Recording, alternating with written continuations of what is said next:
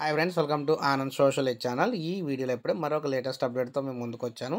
దానికి సంబంధించిన పూర్తి వివరాలు మీకు ఎక్స్ప్లెయిన్ చేస్తాను. టాపిక్లోకి వెళ్ళిపోదాం మనం. సో రాష్ట్రంలో టిట్కోయిలకు సంబంధించి మరొక అప్డేట్తో మేము ముందుకు వచ్చాను. రాష్ట్ర వ్యాప్తంగా ఇప్పటికే లబ్ధిదారులకు టిట్కోయిలు అప్పగించిన మేర కొన్ని గృహ సముదాయాల్లో మౌలిక సదుపాయాలు కల్పించామని మరికొన్ని ప్రాంతాల్లో ఆయా పనులు చివరి దశలో ఉన్నాయని టిట్కో ఎండి శ్రీధర్ గారు అయితే తెలిపారు.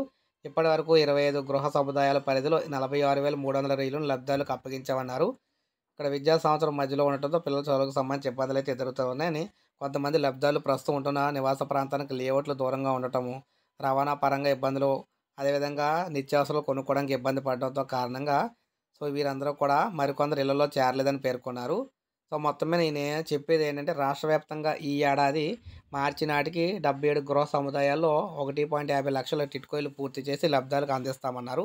ఇప్పటి వరకు మంగళగిరి సముదాయంలో మాత్రమే వంద శాతం లబ్ధాలకు ఇల్లు అప్పగించామన్నారు. మిగతా ఇరవై నాలుగు చోట్ల పాక్షికంగానే అందించామని విశాఖ జిల్లా పరిధిలో కూడా సోనకాపల్లి జిల్లా పరిధిలో కానీ సదుపాయాలు అయితే కొనసాగుతున్నాయని తొందరలోనే అయితే పంపిణీ చేస్తామని చెప్తున్నారు. సో ఇది ప్రజెంట్ టిట్కోయిలకు సంబంధించి ఉగాది నాటికైతే మొత్తం మ్యాక్సిమం ఇల్లు అయితే వచ్చే అవకాశాలు అయితే ఉన్నాయి. వీడియోని అసలు లైక్ చేయండి. మరికొంత సమాచారం కోసం మన వీడియోని మన ఛానల్ సబ్స్క్రైబ్ చేసుకోవచ్చు సబ్స్క్రైబ్ చేసుకోండి.